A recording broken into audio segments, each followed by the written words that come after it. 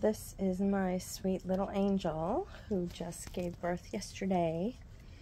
She had 11 puppies. All 11 are doing extremely well. I haven't done the sexing yet, but I'll probably do that in a couple days. But she's doing incredible. My beautiful angel. Angel, hi honey.